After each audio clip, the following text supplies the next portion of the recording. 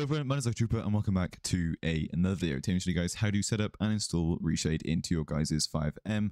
This is going to be an updated tutorial to make sure that it is nice and perfect for you guys in 2024. So all you guys are going to want to do is hit the first link down in the description below.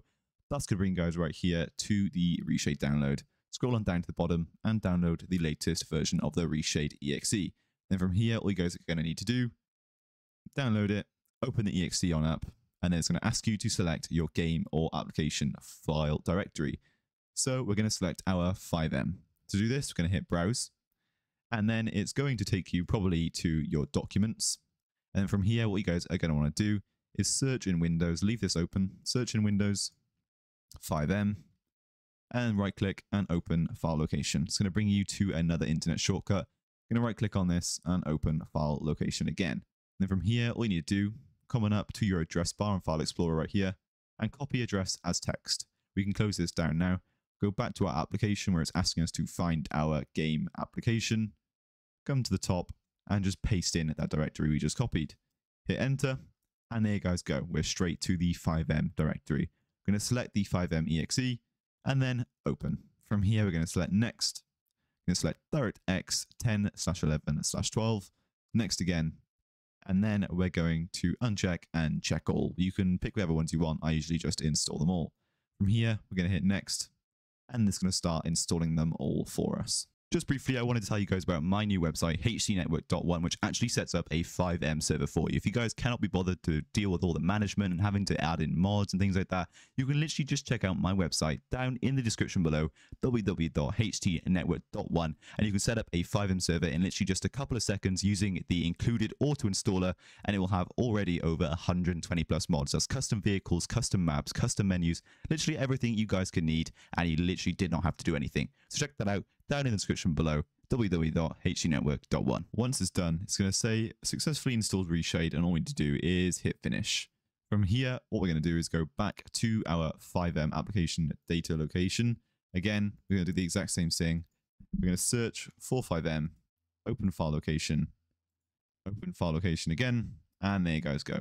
But now we're going to see it is installed Reshade into our FiveM directory. So what we're going to do is move these into the correct place. So we're going to copy these, reshade ini, reshade.log, and reshade preset. And we're also going to grab the dxgi.dll and the reshade shaders folder. Control C, go into application data, go into plugins, and Control V them into here. Go back to the FiveM folder and simply just delete the things we just copied into there. Get rid of those because they do not need to be there.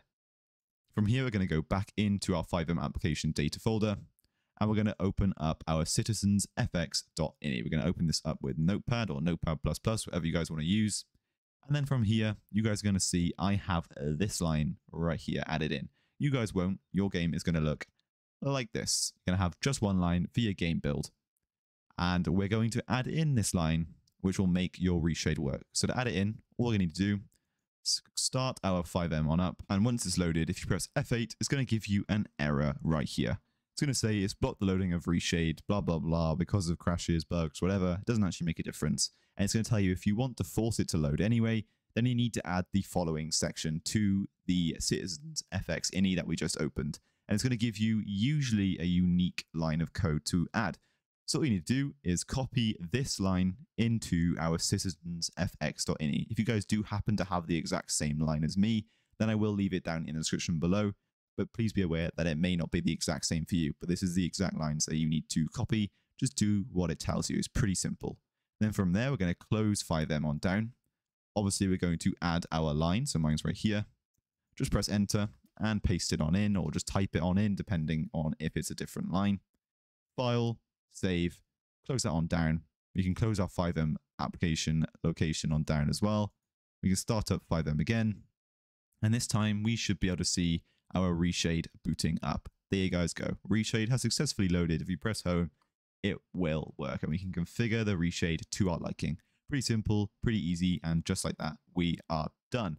If you guys did find this video useful, please be sure to like, comment, and subscribe. Comment down below what video you guys want to see next, and be sure to turn that notification bell so you guys are staying tuned for all of my future and previous tutorials to come. And also be sure to check out my website, htnetwork.one, down in the description below if you guys are looking to set up your own FiveM server or you need a server host because we have you covered. We have a Windows VPS, which comes with a FiveM server pre-set up on it for you. We do that all for you. All you need to do is purchase it, sit back and relax, and you'll have a fully set up server with a server host in literally maybe an hour or so. Pretty simple, pretty easy. So check that out down in the description below, and I'll see all of you guys in the next one. Cheers and goodbye.